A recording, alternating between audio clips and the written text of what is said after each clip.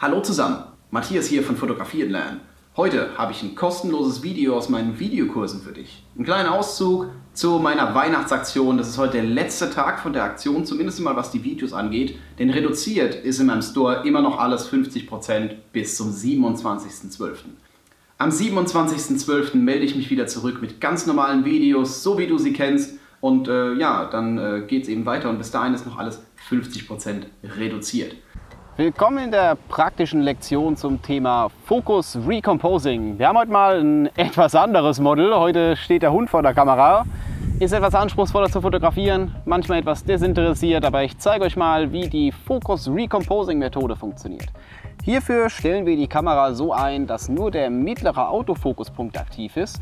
Der mittlere deshalb, weil er in der Mitte eben ist und äh, schnell in alle Richtungen erreichbar. Es ist halt der zentralste Punkt. Außerdem ist er gerade in schlechten Lichtsituationen auch der stärkste.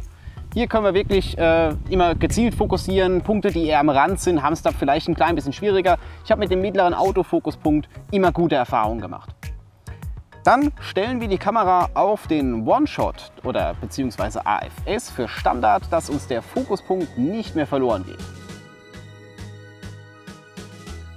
Jetzt kommen wir dazu, dass wir auf das Auge vom Modell fokussieren. Das Auge ist immer das Wichtigste an einer Person bzw. auch einem Tier.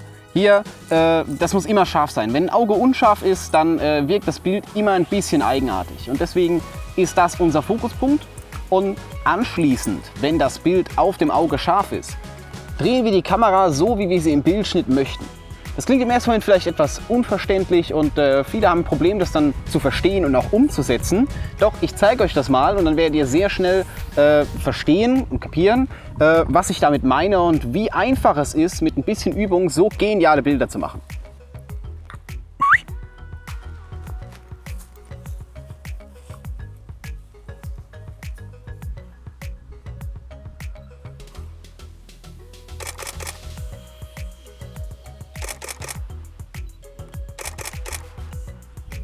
So, ihr seht jetzt ein Bild eingeblendet, auch den Punkt, also den Autofokuspunkt. Und ihr seht schon, der Autofokuspunkt ist komplett im Unscharfen. Ich habe in der Offenblende fotografiert, damit ich das auch demonstrieren kann. Und äh, die Kamera ist in dem Moment hergegangen und hat den Fokuspunkt vom Auge genommen. Und wir haben dann das Bild an sich recomposed, also verschoben. Erst Fokus, dann Recomposing, deswegen heißt die Technik Focus Recomposing. Und ähm, der Bereich vom Auge, dadurch, dass der Abstand gleich bleibt, der bleibt immer noch scharf. Wir müssen hier aufpassen.